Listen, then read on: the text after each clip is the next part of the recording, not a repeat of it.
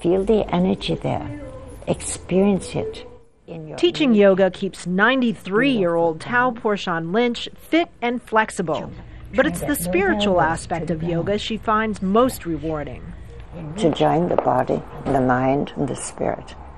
To become one with it. That's what yoga is. To feel this inside of you. She began practicing as a child in India, where she spent the first 20 years of her life.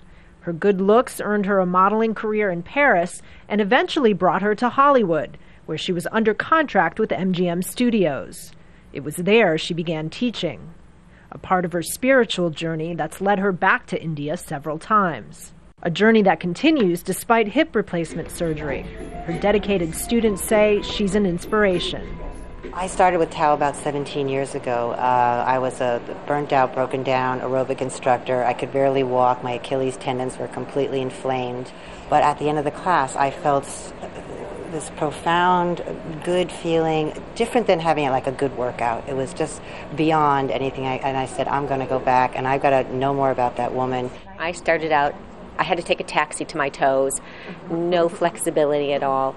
And she just, in her own quiet, way. She just encourages you. She says there is nothing you cannot do.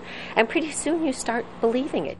As you breathe in, feel as though the ribs are like an accordion. If the secret to yoga is breathing, Tao says her secret to a long and happy life is exhaling negative thoughts with each breath. And don't let fear come into your mind. Whatever you put in your mind materializes. If you start off every morning and you think this is going to be the best day of my life, it will be. And lift up. And what a life she continues to lead. Kristen Saloomey, Al Jazeera, Hartsdale, New York.